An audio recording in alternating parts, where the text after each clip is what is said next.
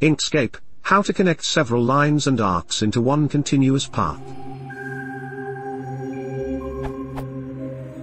I have a SVG document that is made of several lines and arcs that should form a continuous outline of some figure. How can I join all of those pieces into one path?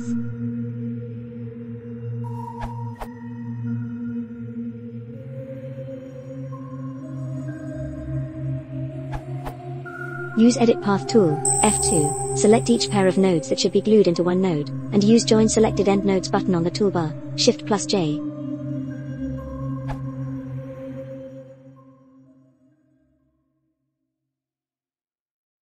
If you want to support the channel, please consider subscribing.